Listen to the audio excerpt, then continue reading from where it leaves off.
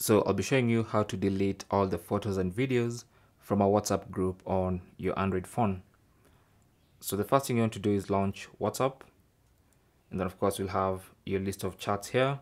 So what you need to do to get into settings is to tap on the three dots in the top right corner and then select settings.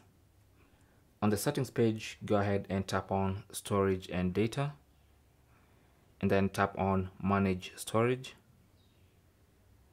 and then here you'll see a list of all the chats including the chat groups that you're in. So select the group whose photos and videos you want to delete. It's going to be among this list. Now i only have one chat in this whatsapp account just because it's not my normal whatsapp account. But for you normally you'd have all the chats and group chats listed here.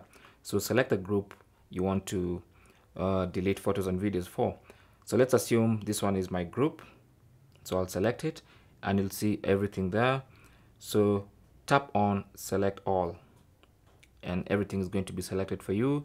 That includes photos videos uh, audio files basically all the media on that group chat including documents. So once you select everything you can tap on the delete function and then confirm you want to delete.